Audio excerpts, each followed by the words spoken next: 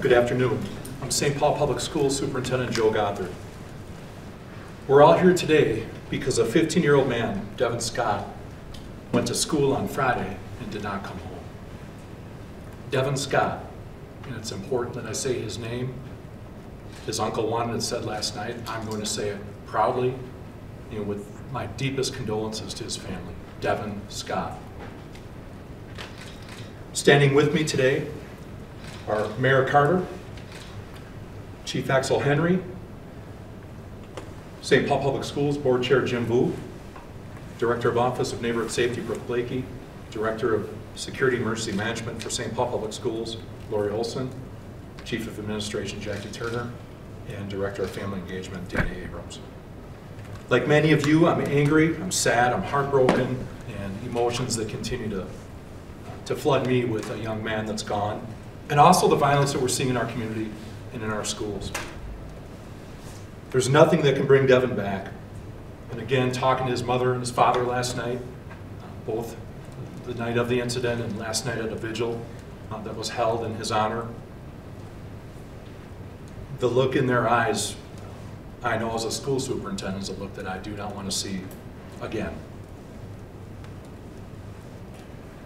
The Harding High School staff where this incident took place are not in school again today for a second day. Uh, truthfully, you go into these things and, and, you believe you have an idea for what is, what is it going to take for a school community to come back together. I don't know that answer with definitiveness right now. Uh, they're still working.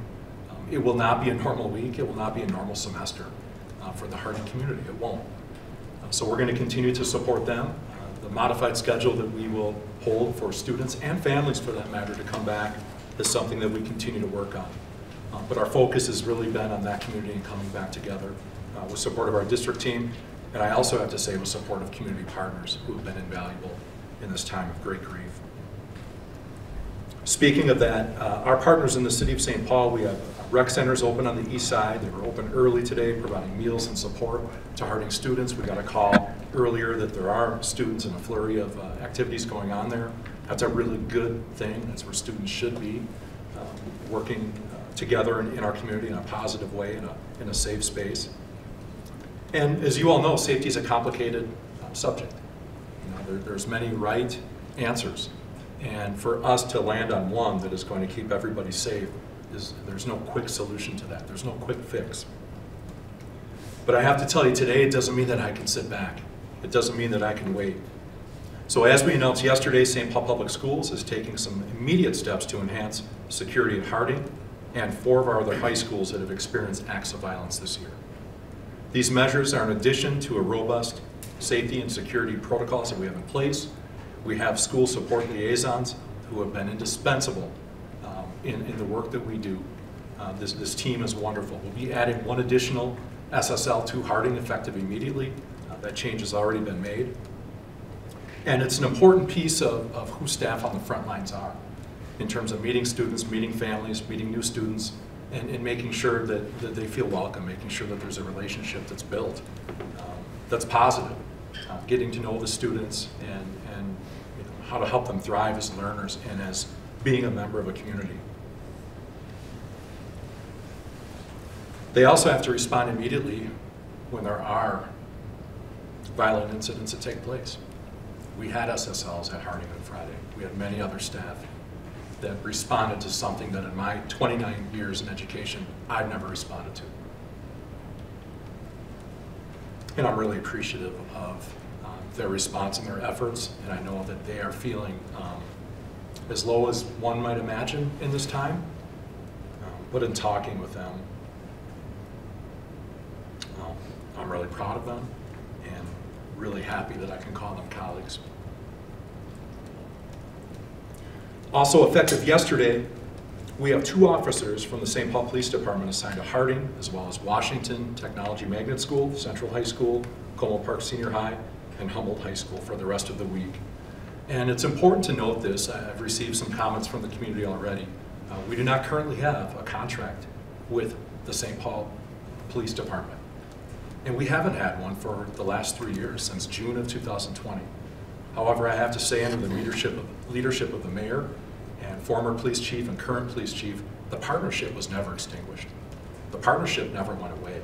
We do work together, we do partner together, uh, sometimes in, in times that are very reactive, but I will tell you what the community doesn't see is the incredible work and communication that goes on behind the scenes between our school sites, between our district and the police, and between the police department and our varied partners throughout the community to make sure that we are staying safe, that we are communicating, that we are in this together.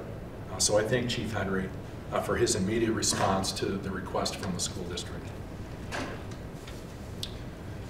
I want to be clear that these immediate steps are the first step. Uh, We are not going to be able to prevent the challenges that our community is facing and that sadly sometimes come into our schools as well uh, with one brief and quick, swift action. Uh, It is going to take some ongoing communications, ongoing partnership, uh, hearing from our community. Uh, We need to get input, input from, from various community stakeholders, our parents, our students, uh, folks who have been in the community a lot longer than I have, that have a history here, that understand. And we have to bring people together. Um, And one of the themes that I've been most comforted by, and when I say I, I mean our district, um, I am the person, but I represent the entire district, is the number of people who have reached out to just say, what can I do to help? It hasn't been, what are you doing? It's, what can I do to help? And that's a theme that I think I opened with, or I I shared Friday night, uh, in my plea to the community, and people have listened, and people are there and they're ready. Uh, So it's truly up to us, and I believe this as well. We as a district also can't just wait for people to come to us. I and the district have to get out into the community and meet our organizations, our families, our community where they're at, and we have to also create community in that way as well. This is not a one-way street in terms of us expecting the community to do all of our work. We have to meet um, where our, our folks are, our students, our families, our staff, our community partners, and we have to do great work. And that's my commitment. That's my commitment uh, for Devin in his memory and for 30,000 other amazing students in St. Paul Public Schools. And also to make sure that our staff feel supported, they feel safe, and they feel like they're showing up to their school sites or their programs every day. And their expectation is to do great work, and I've done everything with this community possible to make sure that that happens. So again, I just want to, share that uh, through the St. Paul Police Department, Office of Neighborhood Safety, so many other partners, uh, the lift that you have given us in this short time since this tragic incident has been uh, incredible. And we're going to need each other as we move forward together, uh, and I'm grateful to you.